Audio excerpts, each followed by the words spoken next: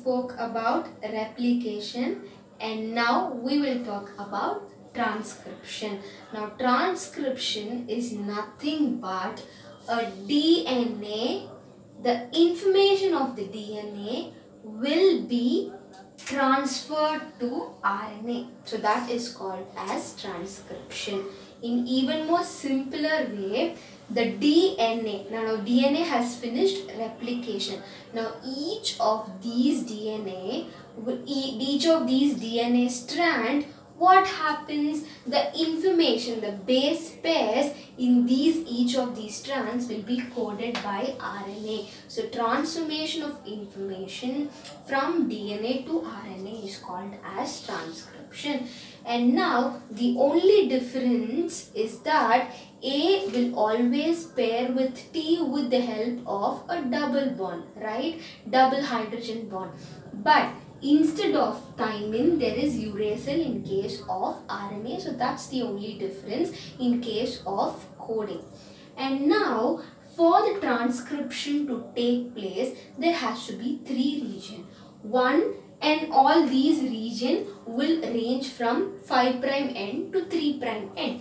And now first you have promoter region and then you have the structural genes and you have the terminator region. And a promoter region is a region that promotes which means that beginning there is something there is a start of a process. And structural gene is a continuation of the process. And terminator is what? There is ending of the process. So that is promoter structural gene and terminator. And now promoter in prokaryotes. And now we will see prokaryotes separately and eukaryotes separately. And in this prokaryotes the promoter region is rich in adenine and thymine. And you call it as TATA box T-A-T-A okay? Which means that it is rich in thymine and adenine. So that is called as the promoter region of prokaryotes and the promoter region of eukaryotes it's called as box, right? box, And now always 3 prime to 5 prime will be the template strand, okay? And 5 prime to 3 prime will be the coding strand and this will code all the four bits in relation with RNA where instead of T, U will be coded. And now we'll talk about the structural genes. Now this structural genes will have exons in case of prokaryotes and they have both exons and introns in case of eukaryotes and now these extrons are the coding they're all functional genes and these introns are all non-coding genes right? And they are called as introns. And now what happens is that RNA polymerase along with this promoter region will undergo the process of transcription. And now in transcription three RNAs have been involved. Messenger RNA transcription RNA and ribosomal RNA fine and now we are done with the concept and now how the process take place okay now before that the template strand is A, G, C, A, U. And now can you guess what would be the coding strand? For A, it is U. For G, it is C. Fine? U, C, and C, it is G. A, again it is U, U, it is A. So if this is the sequence of a template strand and this would be the sequence of a coding strand. So that is the process and now we'll start with initiation. As I told you all, there is a promoter region and in promoter region along with RNA polymerase and you indicate with the symbol sigma, how, that's how a promotion takes place, the starting of the process takes place. And now what will happen? This is how the, the initiation process. And now in elongation process, for the template strand, one of the template strand, the coding strand for the RNA base pair will take place. So this process will take place in the elongation.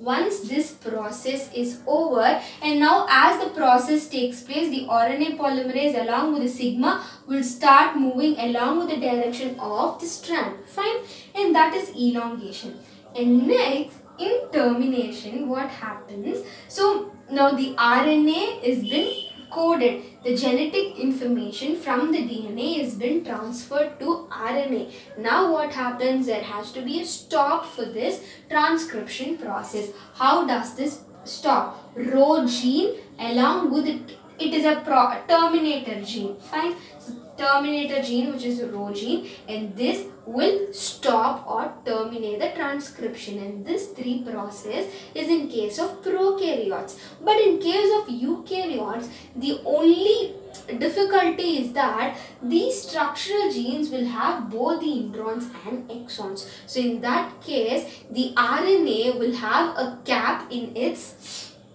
in its 5 prime end and its 3 prime end will have it will undergo adenylation that is polyadenylation so it has poly A tail and now this will have both introns and exons. Now the introns will be removed with the help of splicing. So splicing is nothing but the intron or the non-coded gene which has been removed and only the uh, exons have been kept right? So only the coding region has been kept. And now after this a very important topic is all about the codons. Now what are codons? Now these uh, uh, base pairs three consecutive base pairs are called as codons. For example G U C is a codon. So triplet codons. So that's how you call it as a triplet base pair is called as a codon. And now each of these codons will code for a specific amino acid. For example, GUU, GUC, GUA, GUG and all these will code for valine. So n number of codons this way which is given in a big tabular column in your book. So you can just go through that. So these are all the different types of codons coding for amino acid. And now always start codon is something like promoter from which it starts. And this start codon will start when there is AUG and stop codon you have three stop codons but only one start codon and now we'll talk about something on mutation. So mutation is nothing but any changes in this triplet code. For example you have this G U U G U C G U A. For example you have this sequence. Insertion is where there is a specific single base pair being inserted and now what will happen it will be GUU, GGU, CGU. Now can you understand how the sequence, codon sequence has been changed and they cannot code for amino acids. So that they can code for the amino acid but few cannot code for the amino acid because there's a change in the sequence.